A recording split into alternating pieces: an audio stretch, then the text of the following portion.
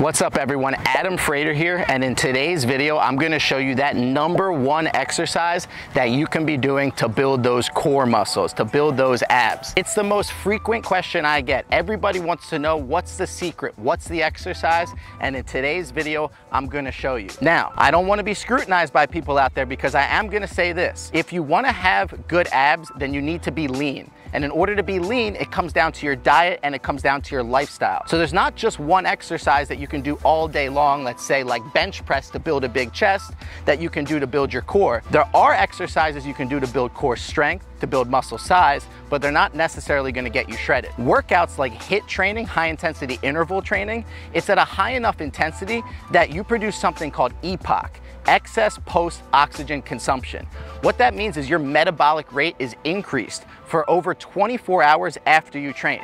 That means even when you're not training, you're a fat burning machine. Now, that's the goal is to achieve that EPOC in your training. So what's the best single exercise to get us there? Well, there's a reason we are at the track today because that single best exercise is something that a lot of you probably rarely do and a lot of you may not have done since you were kids. And that is sprinting. Absolutely the best biomechanically correct single exercise for your body as a human. As a human, we were meant to run.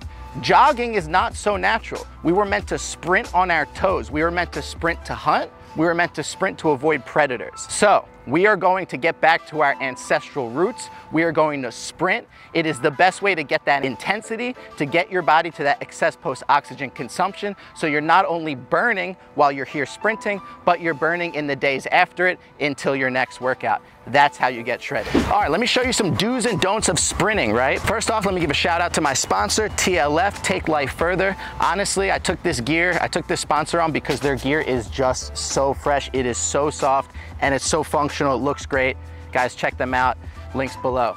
Now, for the part you've all been waiting for, let's get rid of this mic and let's get this shirt off. All right, we are going to run sprints and I'm going to show you how you can get into it in the best possible way. If you're new to sprints or if you've been sprinting for a while, the number one thing that I want you to remember while you're starting off is don't get out and try to run your hardest. It's likely that you probably haven't run sprints in a really long time. This isn't a race, we're not at track practice. So when you take off, try to take off gradually. Build slowly up to speed as you get halfway. And when you're at the halfway mark, I want you at not quite a full sprint, but let's say 80%. Play around in that 80% range and don't try to hit 100 unless you're experienced in sprinting or unless you've been doing this now for four, five, six weeks and you've conditioned your body to go that hard. And let's be honest, your entire body, your entire frame, from every moment that you strike the ground and every muscle that you move is involved in a sprint. So it is extremely intense, which is also why it is the best exercise. As your knees drive, your core is engaged. As you're driving, your core, your back, your quads, your hip flexor, your glutes, your hamstrings, your calves, your tibialis, everything is engaged in the body in a sprint, even your shoulders and your upper body. Do not be mistaking the power of sprinting. You do not need to do a long workout. You can train for about 20 minutes, but what I like to do is as follows. You're gonna measure out a space on the track. You can do this on a field, you can do this on the street in front of your house. And we're gonna do about 60 to 80 yards. If you're more of a beginner, shorter distance is better. And again, the goal is you're gonna start at the beginning, you're gonna slowly build up to speed. When you get to the halfway mark, I want you at that 80% of top speed, and I want you to hold that and sustain that for a good amount of strides, three or four seconds. Not all the way through the finish line, start to decrease speed and finish softly, not too much impact on the knees by stopping quick. So that's the exercise. That's one rep. I want you to rest for 30 seconds between reps and I want you to do 10 of those.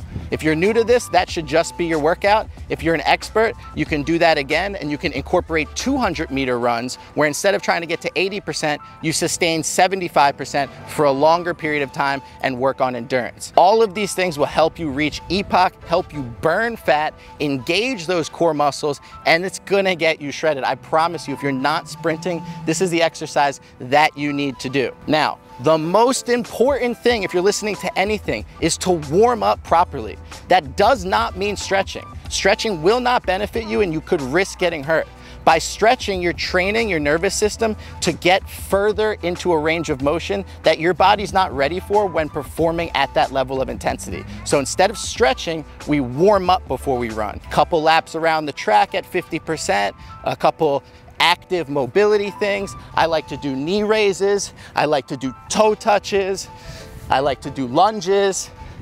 And again, I like to run, and if I'm gonna be running sprints, I like to slowly build up that percentage. I start at 50%, get to 60, get to 70, and you'll know you're warmed up when you're sweating, your skin is sticky, your body is warm. That's all folks. Honestly, if you're not sprinting, add this to your workouts and you are going to see your body change, you're gonna see your athleticism change, you're gonna see your overall lifestyle change because you're gonna release so many happy endorphins that are just gonna make you that much better as an athlete, as a person in everyday life. If you like this video, you know what to do. Hit that like button, go ahead and subscribe.